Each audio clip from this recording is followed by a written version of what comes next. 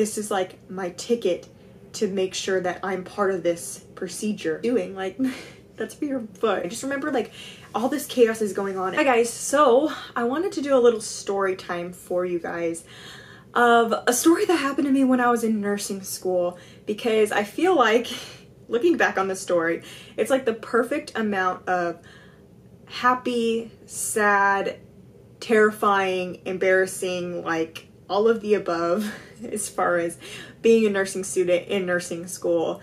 Um, and I wanted to just like I don't know tell you this guy you guys the story so you could relate and laugh at me if you want because I think it's kind of like just a like typical nursing school story for you all. So I was in my third semester of nursing school and I was doing my OB rotation and I was it was my first day of clinicals and I was in antepartum, which is like the pregnant ladies who have not given birth yet, but they may be having some complications with themselves or the babies and they need the extra monitoring during pregnancy.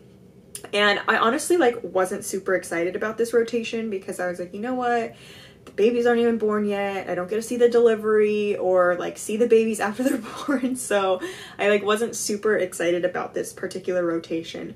And um, my nurse that day, she was like an older, more experienced nurse, and she was kind of cranky, but it was fine.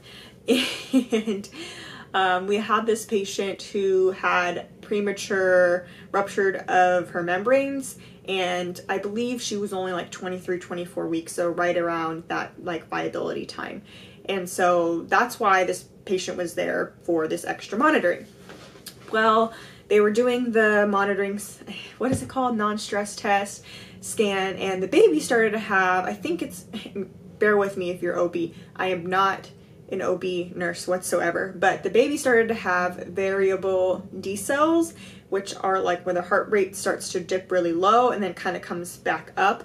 And um, it usually means that there's like a compression of the cord or lack of oxygen, something like that. Again, I'm not an OB nurse, so don't take this like take this with face value. Um, and so this patient or the baby started to have these decels, and so they called in another nurse to do a cervical check and it turned out that the baby's cord or legs or something like the baby was starting to come out of the cervix and like that's an emergency. And so we had to wheel this patient back to the OR emergently for a C-section and as a student I'm just like oh my god like I am in on this and I remember, so we're wheeling this patient back and they're calling the OR team in like from the time that they discovered this to the time the patient like was getting the C-section, like t- only 10 minutes went by. It was just crazy, crazy fast. And as a student, like obviously I was very sad and scary for the mom. Totally like not denying that. But as a student it was really like exciting, like adrenaline wise, like, oh my gosh, I get to be a part of this. So I remember I was like, well, can I go into the OR? And my nurse was like, yeah, sure. And so outside the OR, there's all these like scrubs, like surgical scrubs and the hats and the booties for your shoes.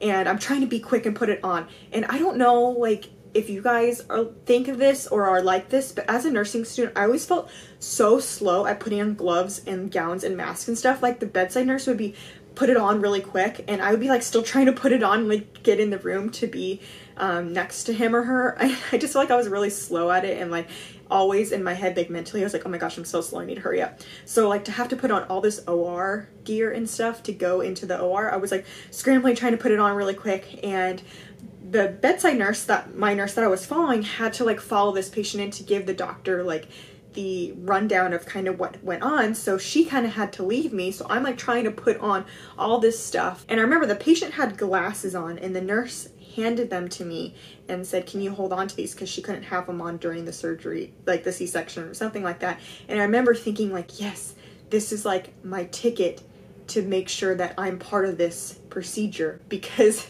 if I have these glasses, I have to go back to where I like, you know, like I have to give them to the patient. So it was like my golden ticket or whatever I felt like. I was like, okay, so I had these glasses. So I'm putting on all this gear and I put one of the little foot booties, you know, those little foot booties. I'm like trying to put it on my head because I'm just like scrambling trying to put the stuff on. And like, I'm like, why is this thing not fitting? Like it was only going like right here. I'm trying to like get my hair in and another nurse is like, what are you doing? Like, that's for your foot. And so I'm like, oh, okay. So I like put them on and she's like trying to help me and I'm like, ah. So we go into the OR and I remember being in the OR and it's chaotic and there's a lot of people in there and the mom didn't have any family members with her because there's no one with her when this emergently happened. And I remember the mom was just she was crying. She was scared and as like a nursing student, I don't have a role in the OR. Like everyone else had a role. You know, they're doing the surgery, they're taking the vitals, they're doing anesthesia, they're monitoring this, they're writing on this, they're charting whatever. They had a role. I didn't have a role other than observing. And I f- was like so wanted to go over to the mom and like tell her, you know, it's going to be okay. They're going to take care of you. Like I know this is scary. Like just be there for her but I like I held back because I didn't want to go be in the way. Like I didn't want to go up and be right next to her because there's so many people around her. And I just remember like all this chaos is going on and like focusing in on the mom and being like I wish I could go over there and and say something to her. And in hindsight, um I mean, not that I like regret or not regret. I wish I would have gone because I actually asked my nursing instructor afterwards. I'm like, would it have been okay? Like, I didn't want to intervene and like be, I don't know, like in the way as a student because you know you like don't want to be in the way. And she said yeah that probably would have been okay. But anyways i didn't know at the time. So i remember like just being honed in on the mom and she was really upset. And so it's really sad but the, the c-section went well. The baby's obviously really premature. I don't really know the outcome of what happened afterwards because after that shift i i left. Like i know the baby survived the c-section and all that but i don't know what happened like once the baby got to the NICU, what their prognosis is. This was years ago, so who who knows at this point?